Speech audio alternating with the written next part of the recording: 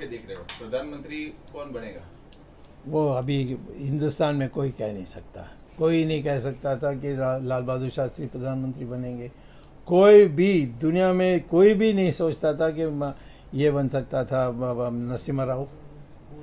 जब मैंने चंद्रशेखर को प्रधानमंत्री बनाया तो सब कहते थे, ये तो कभी नहीं बनेगा बना दिया। तो ये हिंदुस्तान में भविष्यवाणी करना बहुत डेंजरस है इस मामले में। क्योंकि जो हाँ मोदी? अब मोदी मैं नहीं जानता हूँ परंतु मैं मैं तो मेरी राय है कि मोदी इकोनॉमी में फेल हो गया तो खड़ा नहीं होना चाहिए। मुझे मुझे छेड़ा नहीं बस that's नहीं तो इकोनॉमी फेल चाइना फेल हाँ और हमारी जो प्रांतों में जो गड़बड़ हो रही है उसमें फेल और क्या? इकोनॉमी में कौन सी चीज़ ठीक चल रही है? ये कहते हैं वो दुनिया की सबसे हाईएस्ट ग्रोथ रेट ये कहाँ से, हमारी जो जीडीपी है, वो कोरोना के टाइम में बहुत गिरी। सोलह परसेंट गिरी। अभी तक वो ऊपर नहीं आ पाई।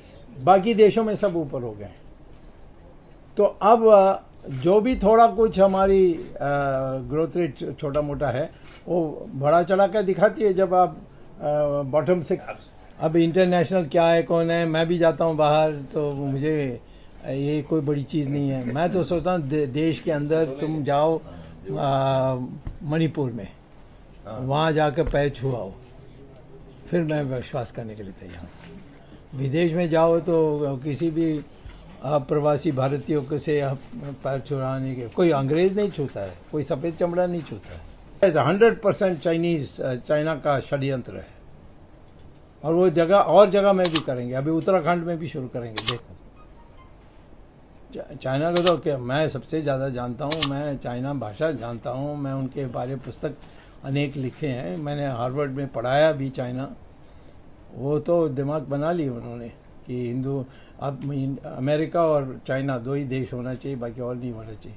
अब मोदी गए थे अमेरिका, एक शब्द नहीं चाइना के लिए बोला। यानी ना मोदी ने बोला, ना बाइडन ने बोला, क्यों? क्योंकि चाइना तो बहुत बड़ा है, हम इंडिया कैसे बोलने देंगे?